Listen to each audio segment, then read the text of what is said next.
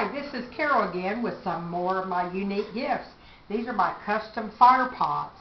They're great for indoors or outdoors.